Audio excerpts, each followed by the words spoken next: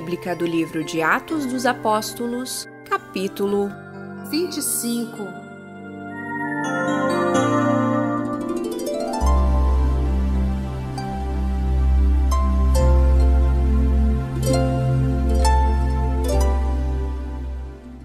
Três dias depois de chegar à província, Festo subiu de Cesareia para Jerusalém, onde os chefes dos sacerdotes e os judeus mais importantes compareceram diante dele, apresentando as acusações contra Paulo. Pediram a Festo o favor de transferir Paulo para Jerusalém contra os interesses do próprio Paulo, pois estavam preparando uma emboscada para matá-lo no caminho. Festo respondeu: Paulo está preso em Cesareia e eu mesmo vou para lá em breve. Desçam comigo alguns dos seus líderes e apresentem ali as acusações que têm contra esse homem, se realmente ele fez algo de errado. Tendo passado com eles de oito a dez dias, desceu para Cesareia e no dia seguinte convocou o tribunal e ordenou que Paulo fosse trazido perante ele. Quando Paulo apareceu, os judeus que tinham chegado de Jerusalém se aglomeraram ao seu redor fazendo contra ele muitas e graves acusações que não podiam provar. Então Paulo fez sua defesa. Nada fiz de errado contra a lei dos judeus, contra o templo ou contra César. Festo, querendo prestar um favor aos judeus, perguntou a Paulo: Você está disposto a ir a Jerusalém e ali ser julgado diante de mim acerca destas acusações? Paulo respondeu: Agora estou diante do tribunal de César, onde devo ser julgado. Não fiz nenhum mal aos judeus, como bem sabes. Se de fato sou culpado de ter feito algo que mereça a pena de morte, não me recuso a morrer. Mas se as acusações feitas contra mim por estes judeus não são verdadeiras, ninguém tem o direito de me entregar a eles. Apelo para César. Depois de ter consultado seus conselheiros, Festo declarou: você apelou para César. Para César irá. Alguns dias depois, o rei Agripa e Berenice chegaram a Cesareia para saudar Festo.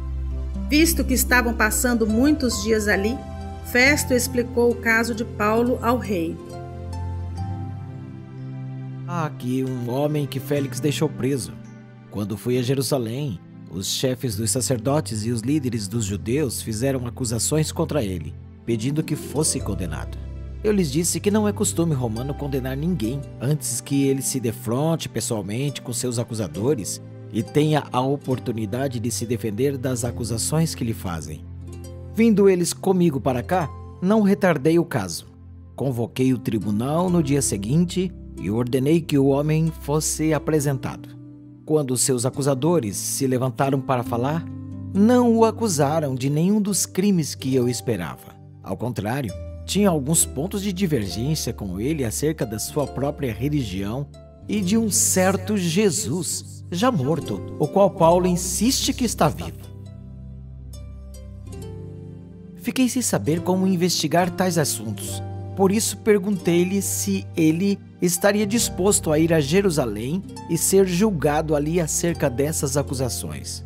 Apelando Paulo para que fosse guardado até a decisão do imperador, ordenei que ficasse sob custódia até que eu pudesse enviá-lo a César. Então Agripa disse a Festo: Eu também gostaria de ouvir esse homem. Amanhã o ouvirás. No dia seguinte, Agripa e Berenice vieram com grande pompa e entraram na sala de audiências com os altos oficiais e os homens importantes da cidade. Por ordem de Festo, Paulo foi trazido. Então Festo disse: